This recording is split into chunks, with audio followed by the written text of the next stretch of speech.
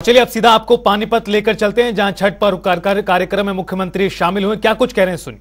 के अंदर इस छठ पूजा के कार्यक्रम में भाग ले रही हैं, जहाँ तक हरियाणा का बात है 300 स्थानों पर यह कार्यक्रम और इस समय लगभग पाँच लाख परिवार इसमें सम्मिलित हुए हैं। एक बहुत बड़ा विशाल ये कार्यक्रम है। इस अवसर पर हमारे बीच में हमारे मनोज भाई, अपने सांसद जो हैं, इन्होंने जो हमको आशीर्वाद दिया, जो हमारा मार्गदर्शन किया, मैं इनका बहुत बहुत धन्यवाद हूँ, आभारी हूँ। मित्रों भाइयों बहनों आज के इस अवसर के ऊपर, जैसा बाकी स्थानों पर ये कार्यक्रम हो रहे हैं, बहुत सी सुविधाएँ उन स्थानों पर लोगों से, की ओर से मांगी जाती हैं। ये अवसर एक और बात याद कराने का भी है कि ये त्यौहार हमारे यहाँ से 30 किलोमीटर दूर करनाल में बहुत धूमधाम से मनाया जाता है। क्योंकि इस दिन हम सूर्य देवता की पूजा करते हैं, छठी मैया की पूजा करते हैं। कहते हैं, सूर्य भगवान, छठी मैया, ये भाई बहन का इनका रिश्ता रहा है। और सबसे पहले सूर्य भगवान की पूजा, ऐसा कहा जाता है महाभारत काल के अंदर, क्योंकि कर्ण को ऐसा कहा जाता है, वो सूर्य पुत्र कर्ण थे।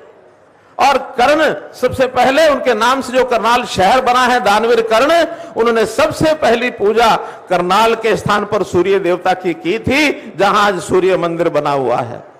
बहुत हम सौभाग्यशाली हैं कि हमारे यहाँ करनाल से ये कार्यक्रम शुरू हुआ और आज सारे देश भर में दुनिया भर में इस कार्यक्रम को मनाया जाता है।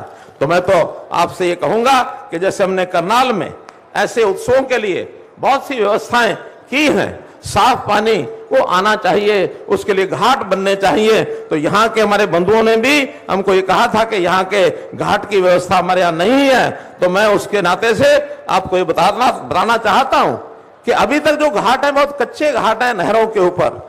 यहाँ दो नहरें चलती हैं। उन नहरों के ऊपर एक आहूलाना डिस्ट्रीब्यूटरी, जो एनएफएल के पीछे, जो 700 फुट लंबा जो घाट है, उस पर निर्माण करने की मांग आई है। तो सबसे पहले तो मैं आपकी जानकारी के लिए बता रहा हूँ कि इस ज़मीन को हमने घाट के लिए उपलब्ध करा दिया है और ये घाट जो है बनाया जाएगा, दो करोड़ रुपया इसके ऊपर खर्च आएगा तो इस घाट की मंजूरी मैं देता हूँ। इसी प्रकार से, मित्रों, इसी नाते से एक दूसरी मांग जो है असंद रोड पर थर्मल चैनल, वहाँ भी 300 फीट घाट के निर्माण की ये एक आवश्यकता बताई गई है। डिपार्टमेंट ने उसको भी फिजिबल कर दिया है। एक करोड़ रुपया लगा करके उस घाट की भी मंजूरी मैं देता हूँ। इसी प्रकार से बाबरपुर पुल जो है, वो मुख्य ड्रेन नंबर दो, वहाँ भी एक घाट बनाया जा सकता है। 300 फुट के घाट के निर्माण के लिए दो करोड़ रुपए की मंजूरी उस घाट की भी मैं देता हूँ। भाइयों बहनों एक बात और मेरे सामने रखी गई थी कि दोनों नहरों के बीच में एक ज़मीन है गाँव की, और वो जो गाँव है हमारा महराणा उस गाँव की महराणा की पंचायत से बात की है। अभी उन्होंने सहमति नहीं दी है। मैं उनसे आग्रह करूँगा कि उस पाँच एकड़ का अगर वो सहमति दे दें, बदले में हम उनको पाँच एकड़ ज़मीन कहीं और दे सकते हैं। अगर वो मिलती है तो आपको उपलब्ध कराएँगे, और किसी कारण से पंचायत नहीं देती है तो उसमें से एक भूमि का टुकड़ा जिसके ऊपर सूर्य मंदिर का निर्माण हो सके, वो भूमि का एक टुकड़ा छोटा आपको ज़रूर लेके दिया जाएगा। और जब ज़मीन का प्रबंध हो जाएगा तो प्रारंभ में पहले, एक प्रकार से पहले चरण में, पहली किस्त के रूप में, आज ही मैं ज़मीन लेने के बाद 21 लाख रुपया उस मंदिर को बनाने के लिए भी मंजूर करता हूँ। भाई बहनों, यहाँ आपको पता है कि बहुत सी ऐसी कॉलोनीज हैं जो कॉलोनियाँ अभी विकसित पूरी तरह से नहीं है, वो नियमित भी नहीं थी। हमने पिछले साल भर में लगभग एक हज़ार कॉलोनियों को नियमित किया है और उस एक हज़ार नियमित कॉलोनियों के लिए बहुत सा पैसा उसके विकास के लिए हमने रिज़र्व किया है और एक हज़ार पूरे हरियाणा की है। जो हरियाणा की है तो पानी में भी जो जो कॉलोनी हमारी विकसित हुई हैं, उसमें विकास कार्य होगा। एक हज़ार कॉलोनी के लिए दो हज़ार करोड़ रुपया हमने रिज़र्व किया है। हर कॉलोनी में उसके काम आपके कराए जाएँगे। तो इस प्रकार से आपको जो डिमांड्स आपकी थी, वो सारी मैंने आपको बताई हैं। मैं तो इतना ही कहूँगा।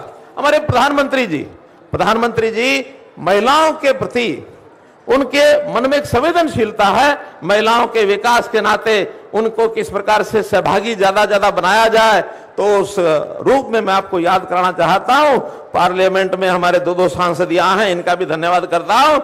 इन्होंने भी एक आरक्षण का बिल पास किया है कि आने वाले समय में जो हमारे चुनाव होंगे विधानसभा, लोकसभा में, उसमें महिलाओं के लिए 33 परसेंट रिजर्वेशन, ये पार्लियामेंट ने एक प्रकार से बिल पास कर दिया है।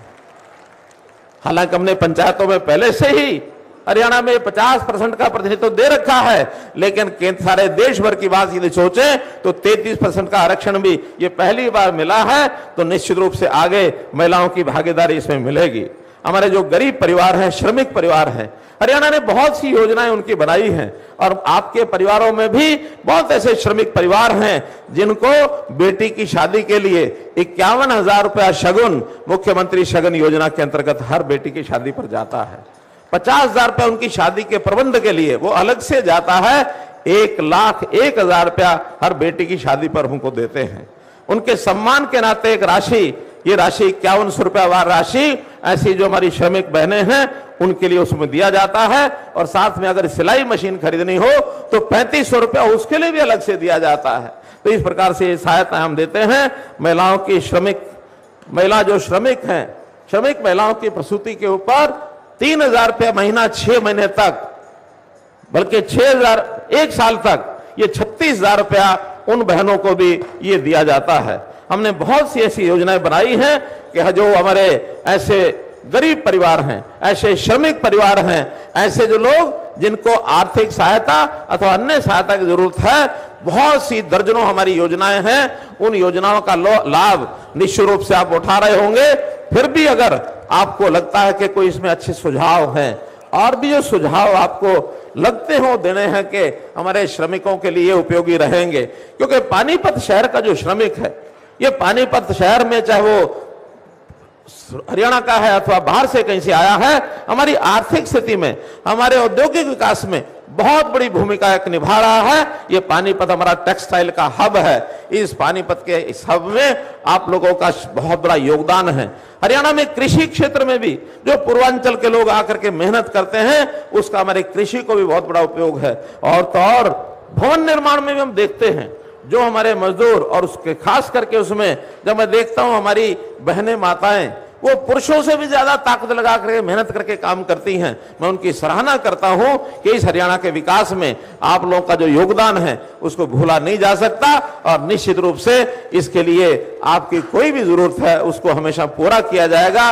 आज इस अवसर पर इतनी बड़ी संख्या में इतनी बड़ी संख्या, लगभग पचास हज़ार से ऊपर हमारी बहनें माताएँ यहाँ हैं, हमारे भाई भी यहाँ खड़े हैं, उनको इस अवसर पर बहुत बहुत अपनी ओर से, हरियाणा सरकार की ओर से बधाई देता हूँ, धन्यवाद देता हूँ, अभिनंदन करता हूँ, और हमारे मनोज तिवारी जी का भी मैं हार्दिक तौर पर बहुत बहुत अभिनंदन करता हूँ कि उन्होंने आज समय दे करके इस कार्यक्रम को सफल बनाया।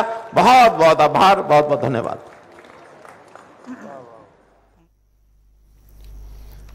तो आपको बता दें कि मुख्यमंत्री मनोहर लाल का ये पूरा संबोधन छठ महापर्व के मौके पर पानीपत में बड़ा कार्यक्रम आयोजित किया गया है, जहाँ पर मुख्यमंत्री शामिल हुए दो करोड़ से तैयार होगा तालाब, एक हज़ार कॉलोनियों को नियमित किया। यह भी कहा मुख्यमंत्री ने, कॉलोनियों में तेज़ी से विकास कार्य हो रहे हैं। बेटी की शादी के लिए इक्यावन हज़ार रुपए, सिलाई मशीन के लिए साढ़े तीन हज़ार रुपए हरियाणा में 300 जगहों पर छठ पर्व पर कार्यक्रम आयोजित किया गया है। तमाम बातें मुख्यमंत्री मनोहर लाल ने अपने संबोधन में की हैं और किस प्रकार से घाटों पर विशेष तैयारियाँ, सजावट यहाँ की गई हैं, छठ पर्व के मौके पर इसका भी ज़िक्र माफ़ कीजिएगा, मुख्यमंत्री मनोहर लाल ने अपने संबोधन में यहाँ पर किया है मंच से।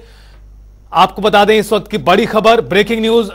मुख्यमंत्री मनोहर लाल ने कार्यक्रम को संबोधित किया। पानीपत में छठ पर्व के मौके पर यह कार्यक्रम आयोजित किया गया है।